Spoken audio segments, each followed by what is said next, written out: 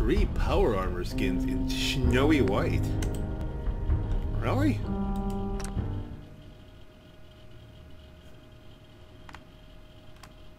That's still 35 bucks for the legacy bundle. What the heck means?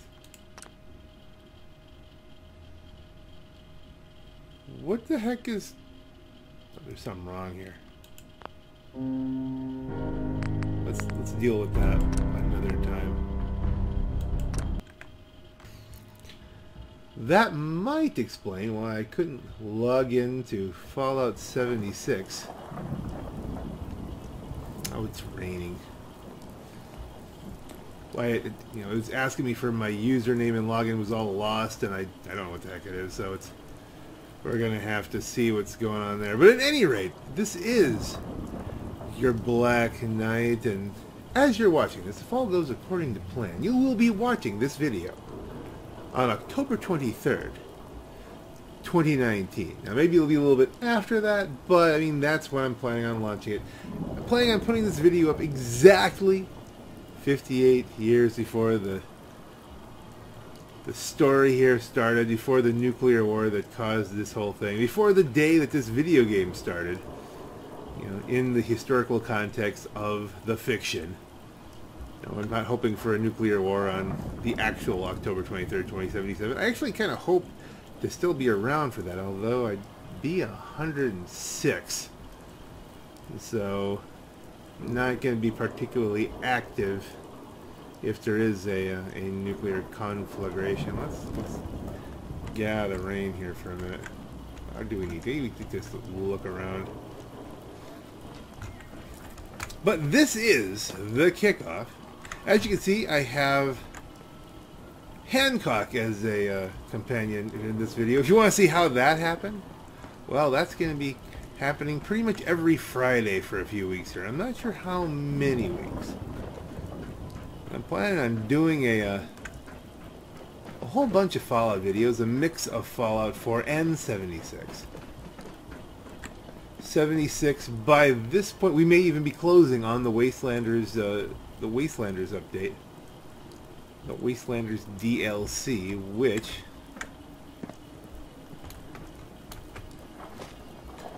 will bring NPCs back to the game and make it actually feel like a Fallout game if all goes well. It's very much a if all goes well there. I mean, that's... There's not many more to put in here, but there's a couple.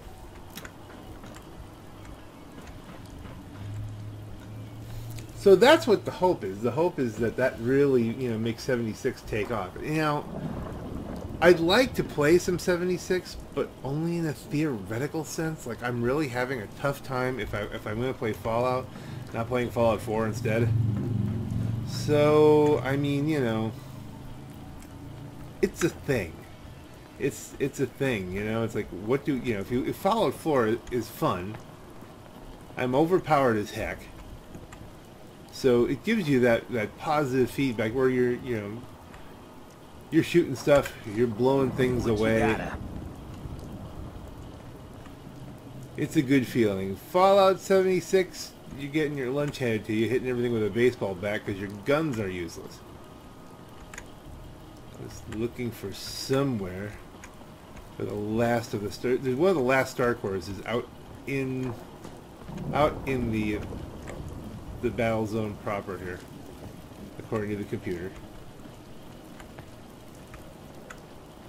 So there's going to be, I know I've got a whole bunch of Fallout 4 stuff together. I'm planning on putting a bunch of Fallout 76 together. That smells not you, because otherwise you need to see a doctor. That's funny. You walk up to the garbage and he has a garbage comment. That's. Can we get that? No.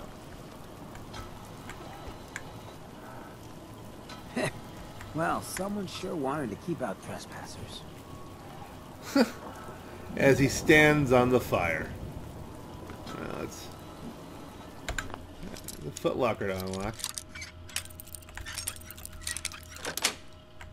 I'm still trying to think how I want to... Ooh, Army 15, that's kind of useful. They can be made bulletproof.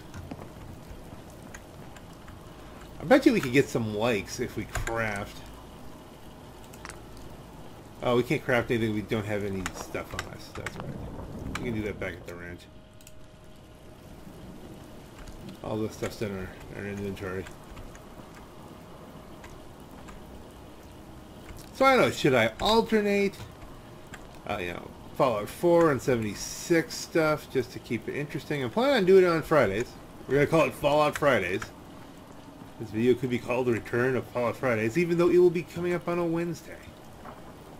Kind of an announcement video. We're just wandering around looking. I have mostly stripped this whole place. I mean, I've gone through the battle zone pretty hard, but there's one Starcore out here. There's two more randomly outside of this area, and it doesn't tell you exactly where, so that could take a while. But I'm really trying find what we niche. What the heck? Why are we getting points? That would make sense if I had, like, a supply uh, line coming here or something like that. But I don't think so. That's not happening yet. I haven't finished the game and set that up. I'm starting to think these might come back.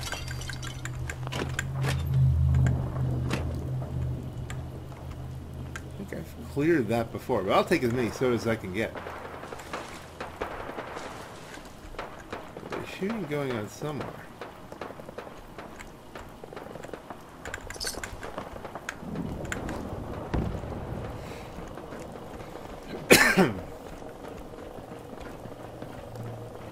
So that's at least the plan. The plan is to bring back some Fallout in this. I'm sure I've cleared these out.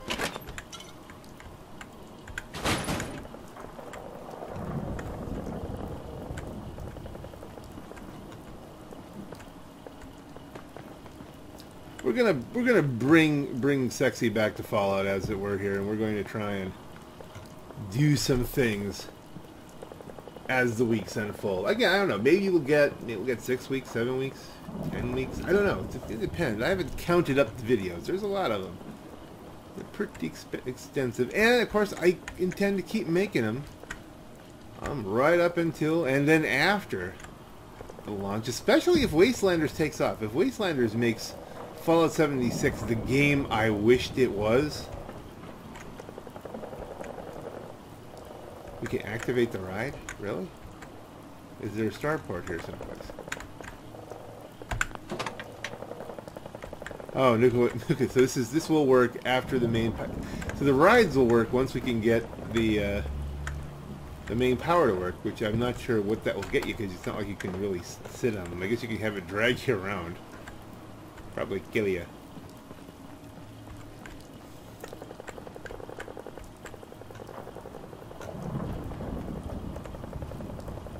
So that is that is the, the, the distinct hope. The distinct hope is that when Fallout 76 updates to Wastelanders, that you know it will become the you know the fall not only the Fallout that we deserve, but the Fallout that we need. You know that kind of thing. It's he's he's there, but he's just leaning back. Got the lean going, kicking back like there's something there, like robots would sit. Ooh, Hancock admires you. Well, that's a that's a momentous thing.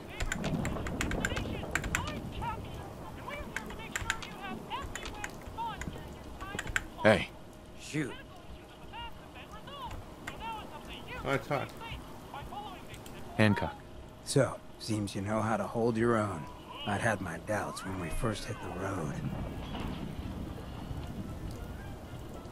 Should we do the sarcastic or the uh, Thanks. You're not so bad yourself. I never get many complaints. It's just real rare these days. Find someone who's not willing to take things the way they're handed to them. Too many good folks not willing to get their hands dirty. And too many assholes taking advantage of it. Look at what happened to Diamond City. Before McDonough took over, it was a half-decent place to live. A little stricter than I usually go for, but not terrible. I thought he and I had a pretty happy childhood. But then he decides he's gonna try and get elected with his anti-ghoul crusade. Mankind for McDonough. Before you know it, you got families with kids lining up to drag folks they call neighbor out of their homes and throw them to the ruins.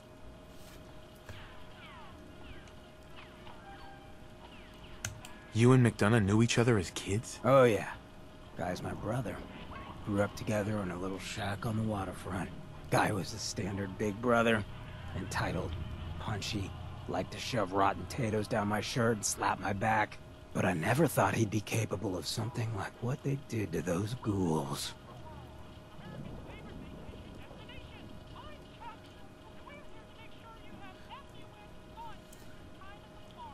How could they do something like that? There'd always been a pretty big gulf between the folks living in the stands and folks down on the field.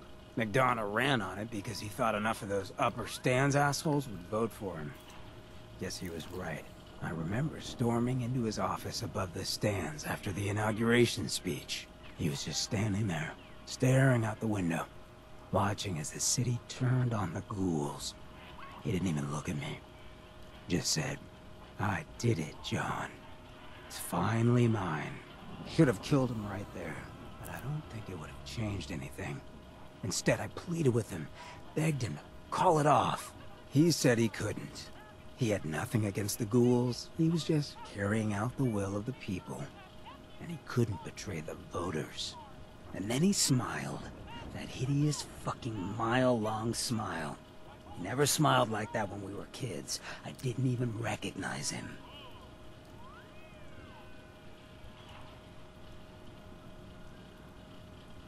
What do you mean you didn't recognize him? I don't know, just didn't seem like the guy I grew up with. Guess that all makes sense now, knowing that he was with the Institute. But honestly, I think I'm more angry now. I mean, where do I draw the line? Was the guy I grew up with the amoral piece of trash who gave the ghouls the boot? Or was that just some synth making a play for the city? Have I been hating the guy all these years for nothing? Almost makes me wish I didn't know.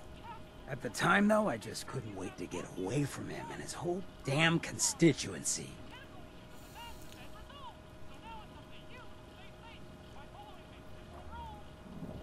He murdered those ghouls. Him and that whole damn city. I still wasn't a ghoul at this point, so I didn't have to leave, but I couldn't bring myself to stay in that cesspool after that. I'd been sneaking off the Goodneighbor for years to get decent chems, so I knew the safe routes. I managed to track down a couple of the families, lead them there, but most couldn't get used to the Goodneighbor lifestyle. I brought them food for a couple of weeks, but after a while, they just disappeared. Folks in Diamond City signed their death warrants, and all the good people were willing to just sit by and watch. I felt like I was the only one who saw how screwed up things truly were. Who couldn't just pretend things were fine. Still feel that way. Or I did. Until I met you. I know I run my mouth, but having someone who sees the world for what it is, and is willing to do something about it, it's meant a lot to me. I feel damn lucky to have you as a friend.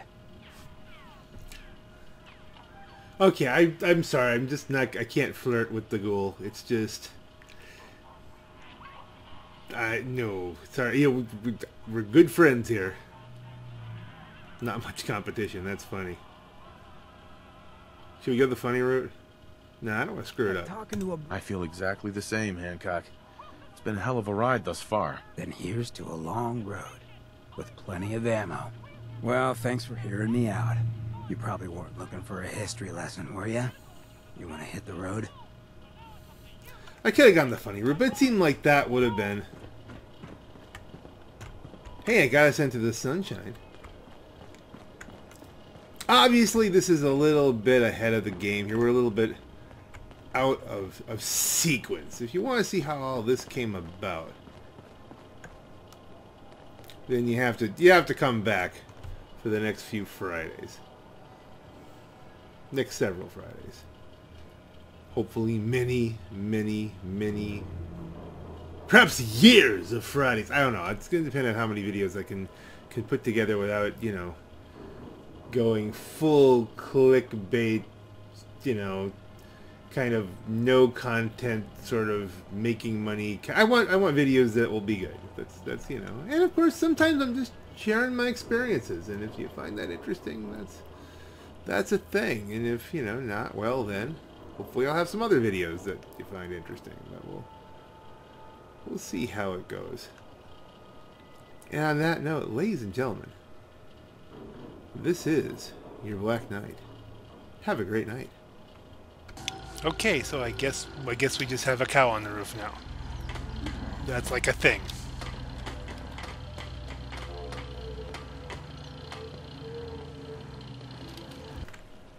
And a little bonus material. Technical document here. Finding a lot of technical documents. Haven't cashed them in yet. It's just somehow fun having the technical documents. New starports. Hmm, interesting. I've never been up here. Bullets, fusion cells, pistol, trader. Interesting. Dog tags. And a military history. Trying to look in there and I'm just knocking stuff over. Can't get... Can I sneak? No, can't get in there. Weird.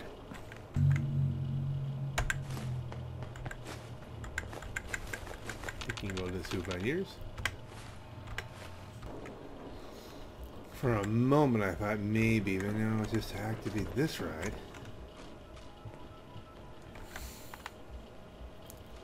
Which we'll get there eventually. Find the Rascal Battle Zone.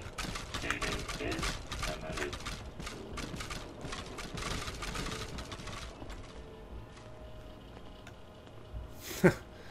Little Clippinger.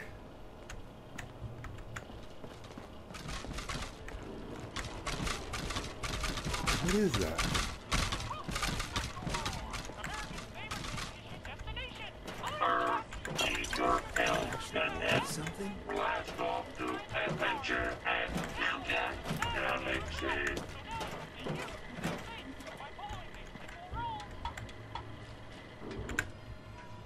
The park pamphlet. They just tell me where the darn Star Cores are.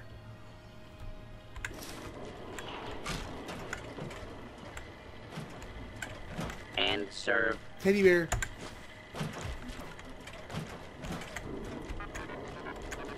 When you're going to have so much fun that day. And yet, no, it doesn't work out that way because the world ends.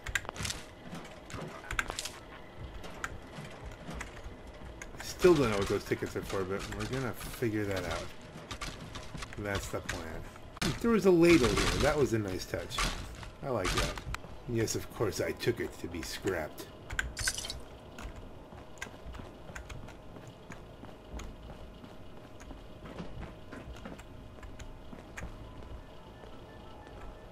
So this is what they thought the future'd look like, huh? Say they'd missed the mark.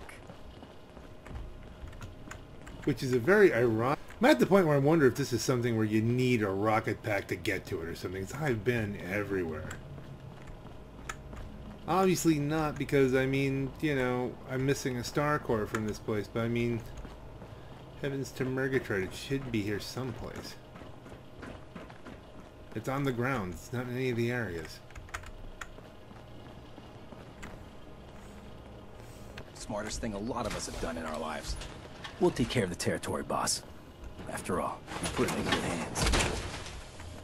I was hoping that was going to be sharp armor, but apparently it's just operator's armor, so that's a disappointment. Must be downstairs.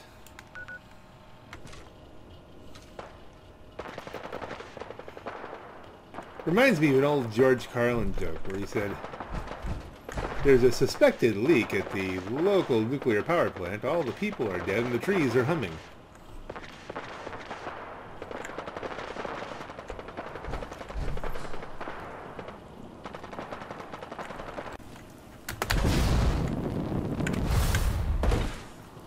Nothing didn't land it. You sniper, sniper.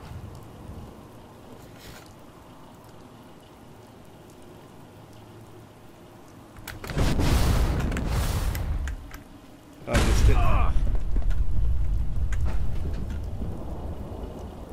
Shouldn't hurt him.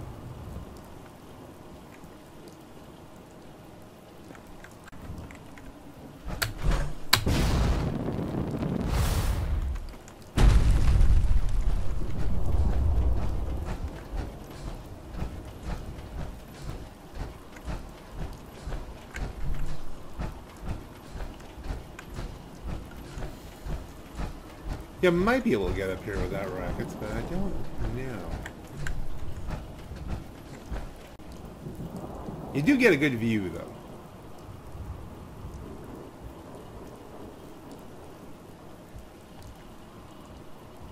Hadn't realized their uh, their scrambler was actually a Mr. Handy thing. I guess you can't get up here because Hancock, I think, has just injured himself trying to find a way. So does that mean there's hope for a starport? Maybe not. There's not all that much up here, really. It's a cool view. The view is incredible.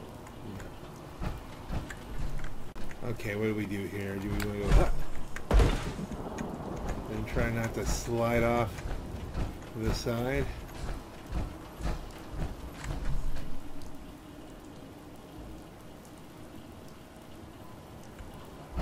Which is try not is the key here.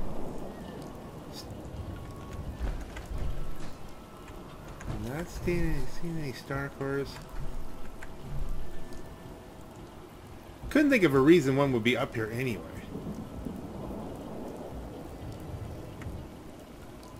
Oh, well. Maybe next time.